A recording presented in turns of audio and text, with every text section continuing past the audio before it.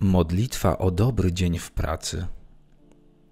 Boże, daj mi dzisiejszego dnia energię potrzebną do zmierzenia się z moją pracą, wytrwałość potrzebną do tego, żeby wykonywać ją dobrze, samodyscyplinę, która pomoże mi pracować ciężko, nawet jeśli nikt mojej pracy nie zobaczy, nawet jeśli nikt mojej pracy nie pochwali nawet jeśli nikt mojej pracy nie uszanuje. Samodyscyplinę, która pozwoli mi wyprodukować wszystko najlepiej, jak potrafię. Uprzejmość, która pozwoli, że będzie ze mną łatwo żyć i pracować. Pomóż mi dzisiejszego dnia być otuchą dla smutnych. Pomóż mi dzisiejszego dnia być przyjacielem dla samotnych.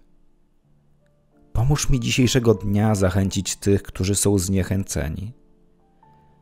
Pomóż mi dzisiejszego dnia pomóc tym, którzy są w potrzebie.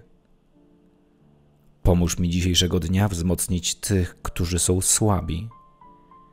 Niech Twój święty duch doda mi sił i odwagi. Przez Chrystusa Pana naszego. Amen.